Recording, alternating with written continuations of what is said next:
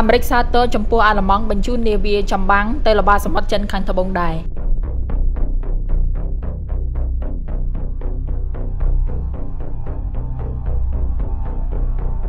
ក្រោយតែពីខែដែលអាល្លឺម៉ង់បានអនុម័តគោលនយោបាយថ្មីស្តីអំពីតំបន់ Indo-Pacific ថាតើត្រូវធ្វើការពង្លាតការបដិញ្ញាសន្តិសុខយ៉ាងណាស្រាប់តែអាល្លឺម៉ង់ប្រកាសថាខ្លួនក៏នឹងបញ្ជូននាវាល្បាតមកកាន់សមុទ្រចិនខាងត្បូងក្នុងពេលដ៏ឆាប់ៗនេះដែរការនេះធ្វើឲ្យសមុទ្រចិនខាងត្បូងបានក្លាយទៅជាទីលាន ទឹកដ៏មានប្រជាប្រិយភាពបំផុតរបស់នាវាចម្បាំងក្រុមលោកខាងលិច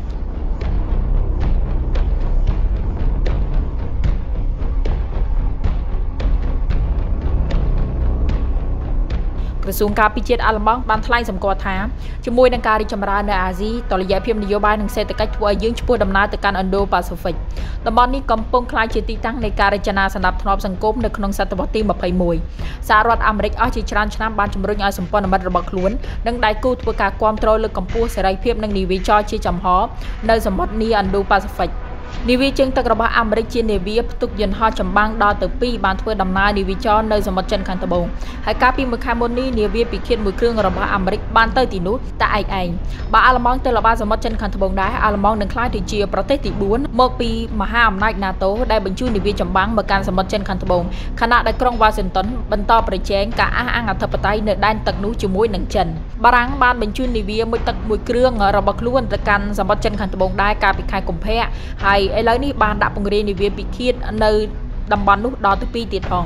នេះបើយកផ្ទាល់តាមកងនាវាជើងទឹកបារាំងអង់គ្លេសក៏មានផែនការដែលរៀបចំការវិភាគរួចហើយថានឹងបញ្ជូននាវាផ្ទុកយន្តហោះយក្សរបស់ខ្លួនដែលមានឈ្មោះថា HMS Queen Elizabeth ទៅកាន់សមុទ្រចិនខាងត្បូងផងដែរ ក្រុងប៉េកាំងអះអាងថាស្ទើរតែទាំងអស់នៃផ្ទៃទឹកសមុទ្រចិនខាងត្បូងគឺជាដែនដីរបស់ខ្លួនដែលផ្ទុយពីអ្វីដែលអង្គការសហប្រជាជាតិបានកាត់សេចក្តីករណីចំនួនដែនកោះស្កាបូរ៉ូជាមួយនឹងហ្វីលីពីនសហរដ្ឋអាមេរិកជារឿយរឿយមិនដកដៃក្នុងការល្បាតតំបន់នោះទេហើយជួនកាលធ្វើសម្ពយុទ្ធនិងប្រតិបត្តិការផ្សេងទៀតផងដែរ Reuters បានរាយការណ៍កាលពីថ្ងៃប្រហ័សទី4មីនាថាក្រសួងការប្រទេសបានសាទរចំពោះផែនការរបស់ប្រទេសអាល្លឺម៉ង់នៅក្នុងការបញ្ជូននាវាចម្បាំងមួយឆ្លងកាត់សមុទ្រចិនខាងត្បូងនៅរដូវក្តៅនេះដែលហៅថាវាជាការចូលចូលរួមចំណែកក្នុងការថែរក្សានិងការបើកចំហសេរីភាពសមុទ្រក្រសួងការពិចារណាអាល្លឺម៉ង់បានបង្ហោះនៅលើបណ្ដាញសង្គម Twitter នៅព្រឹកថ្ងៃសុក្រនេះអំពីផែនការរបស់ខ្លួនដើម្បីបញ្ជូននាវាចម្បាំងឆ្លងកាត់សមុទ្រដែលមានចំនួននេះ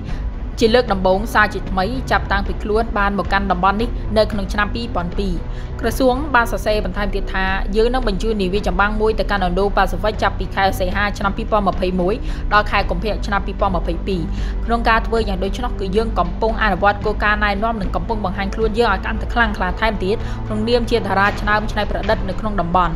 បើយ៉ាងដូចឆ្នោមែនមានន័យថាក្រុមលោកខាងលិចកំពុងតែដាក់វេនគ្នានៅក្នុងការល្បាតសមុទ្រចិនខាងត្បូងទីភ្នាក់ងារសារព័ត៌មាន Reuters បានរាយការណ៍ជាលើកដំបូងដោយស្រង់សម្ដីរបស់មន្ត្រីអាល្លឺម៉ង់មិនបញ្ចេញឈ្មោះម្នាក់ថាក្រសួងមានគោលដៅរបស់ខ្លួនសម្រាប់បេសកកម្មគឺគ្រប់គ្រងបទបញ្ជាផ្អែកលើច្បាប់ផ្លូវសមុទ្រសេរីនិងពហុភាគីនិយមប៉ុន្តែលោកក៏មិនអាចគូបញ្ជាក់បានថាមាន នាវាចម្បាំងមួយគ្រឿងណាដែលនឹងត្រូវបញ្ជូនមកកាន់តំបន់នេះនោះទេលោកគ្រាន់តែគូបញ្ជាក់ថាសហគមន៍អន្តរជាតិមានចំណាយយ៉ាងសំខាន់ណាស់នៅក្នុងការថែរក្សាសណ្ដាប់ធ្នាប់ដែនសមុទ្របើកចំហមួយនេះនៅពេលដែលមានការសាកសួរអំពីរឿងរ៉ាវនេះនៅក្នុងសន្និសីទកាសែតមួយកាលពីថ្ងៃពុធ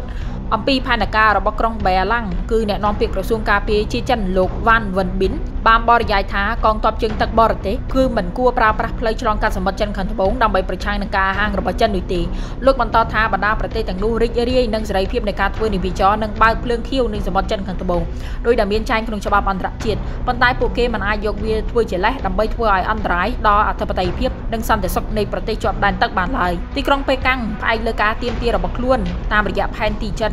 ដែលមាននៅក្នុងឆ្នាំ1947ហើយផែនទីនោះក៏បានរាប់បញ្ចូលទាំងខ្សែឆ្នូតទាំង9លាតសន្ធឹងលើដែនទាំងនោះហើយអះអាងថាប្រជុំកោះ Spratly Paracel គឺជាទឹកដីអធិបតេយ្យរបស់ខ្លួនផ្ដាច់មុខហើយក៏មានការរដ្ឋបិទក្នុងការឲ្យបរទេសចូលមកជុំវិញនោះដែរ សេចក្តីរាយការណ៍ចុងក្រោយបានដឹងថាចិននឹងបង្កើនការចំណាយលើវិស័យការពារជាតិរបស់ខ្លួនដល់ទៅ6.8%នៅឆ្នាំក្រោយនេះខណៈដែលប្រទេសនេះត្រូវបានគេមើលឃើញថាកំពុងតែពង្រឹងកងកម្លាំងប្រដាប់អាវុធរបស់ខ្លួនកាន់តែខ្លាំងឡើងអ្វីបើបំណុលរដ្ឋាភិបាលកាន់តែច្រើនហើយមានផលប៉ះពាល់ដោយសារតែការរីករាលដាល COVID-19 ក៏ដោយក្តីរបាយការណ៍ថាវិការជាតិបានចេញផ្សាយនៅថ្ងៃសុក្រទី5មីនាឲ្យដឹងថា ប្រទេសចិននឹងចំណាយថវិកាចំនួនដល់ទៅ210,000លានដុល្លារលើវិស័យការពារជាតិនៅក្នុងឆ្នាំខាងមុខនេះគឺចំនួននេះកើនឡើង1.3%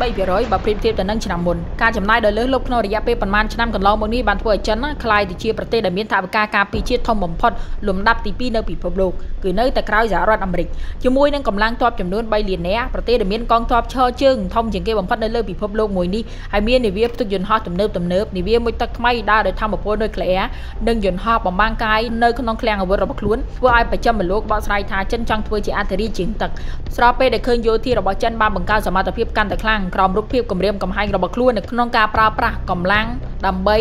យកកោះតៃវ៉ាន់មកគ្រប់គ្រងវិញហើយថ្មីបើខ្លួនក៏ពង្រឹងអធិបតេយ្យនៅសមុទ្រចិនខាងត្បូងផងនៅមហាសមុទ្រប៉ាស៊ីហ្វិកខាងលិចផងខាងកើតផងនិងមហាសមុទ្រឥណ្ឌាទៀតហើយក៏មាននៅកន្លែងផ្សេងផ្សេងមួយចំនួនទៀតចំណែកសហរដ្ឋអាមេរិកដែលការចំណាយលើវិស័យការពារជាតិរបស់ខ្លួនគឺត្រូវបានគេដឹងថា ប្រមាណជា934,000លានដុល្លារនោះចន្លោះថ្ងៃទី1ដុល្លារឆ្នាំ2020ដល់ថ្ងៃទី30កញ្ញាសហរដ្ឋអាមេរិកនៅត្អូញត្អែអំពីកង្វះតម្លាភាពនៅក្នុងកម្មវិធីការពារជាតិរបស់ចិនហើយជាហេតុជំរុញឲ្យមានការរំពឹងទុកថាក្រុងប៉េកាំងមានគោលបំណងផ្ដួលអាមេរិកក្លាយជាមហាអំណាចយោធានៅអាស៊ីបូព៌ា យ៉ាងណាកន្លងមកនេះកងទ័ពជើងទឹកបដិសេធរាល់ការរដ្ឋបတ်មួយចំនួនអំពីប្រតិបត្តិការនាវាចរសេរីបន្ទាប់ពីអាមេរិកបានបញ្ជូននាវាចម្បាំងមួយគ្រឿងក្នុងចម្ងាយ12ម៉ាជិតដែនកោះរបស់ចិនទីភ្នាក់ងារសារព័ត៌មាន Reuters បានរាយការណ៍ថាទោះយ៉ាងណាអាល្លឺម៉ង់នឹងមិនបញ្ជូននាវាចម្បាំងរបស់ខ្លួនទៅកាន់ព្រំដែននោះទេអ្នកនាំពាក្យក្រសួងការបរទេសអាមេរិកអះអាងថាសហរដ្ឋអាមេរិកមានផលប្រយោជន៍ជាតិនៅក្នុងការថែរក្សាសន្តិភាពស្ថិរភាពគោរពច្បាប់ពាណិជ្ជកម្មអន្តរជាតិដែលត្រឹមត្រូវ និងសេរីភាពនៃការធ្វើនាវាចរនិងការប្រើប្រាស់ធនធានសមុទ្រយ៉ាងស្របច្បាប់របាយការណ៍របស់ក្រសួងការបរទេសសហរដ្ឋអាមេរិកគឺសាទរចំពោះផែនការរបស់អាល្លឺម៉ង់នៅក្នុងការមកល្បាតសមុទ្រចិនខាងត្បូងក្នុងឆ្នាំនេះដែរនិយាយទៅប្រទេសនៅលោកខាងលិចជាច្រើនបានជំរុញឲ្យរដ្ឋាភិបាលក្រុងប៉េកាំងគោរពតាមសន្ធិសញ្ញាអង្គការសហប្រជាជាតិស្តីអំពីច្បាប់សមុទ្រគឺ UN Clause ដែលកំណត់ការគ្រប់គ្រងតំបន់សមុទ្រផ្អែកតាមបន្ទាត់ឆ្នេរក៏ប៉ុន្តែប្រទេសចិនចាត់ទុកក្រុមប្រតិបត្តិដែលគ្រប់គ្រងដោយអង្គការសហប្រជាជាតិមិនស៊ីគ្នានឹងច្បាប់ក្នុងស្រុកបន្ថែមលើនេះចិនយល់ថាក្រុមប្រតិបត្តិនេះជាឧបករណ៍នៃយុទ្ធសាស្ត្ររបស់ប្រទេសលោកខាងលិចដើម្បីទប់ស្កាត់ការពង្រីកឥទ្ធិពលរបស់ចិនក្លាយទៅជាប្រទេសមហាអំណាចពិភពលោកថ្មីថ្មីចុងក្រោយនេះគណៈកម្មការអចិន្ត្រៃយ៍នៃសមាជប្រជាជនក្នុងទីក្រុងប៉េកាំងបានអនុម័តច្បាប់មួយកាលពីថ្ងៃទី22មករាដោយអនុញ្ញាតយ៉ាងច្បាស់ច្បាស់ឲ្យឆ្មាំសមុទ្រប្រើប្រាស់កងកម្លាំងប្រដាប់ដោយអាវុធហើយប្រើប្រាស់ក្រុមមធ្យោបាយយ៉ាងណាទាំងអស់ឲ្យបានដើម្បីបញ្ឈប់នាវាបរទេសរួមទាំងការប្រើប្រាស់សពាវុធ លើនាវាចិនផងដែរខណៈដែលនាវាឆ្មាំសមុទ្រមានចំនួនប្រមាណជា200ត្រូវបានរាយការណ៍ថាបានប្រឈមជាមួយនឹងនាវារបស់ប្រទេសជិតខាង ដែលមានដូចជាម៉ាឡេស៊ីហ្វីលីពីននិងវៀតណាមជារឿយៗផងដែរ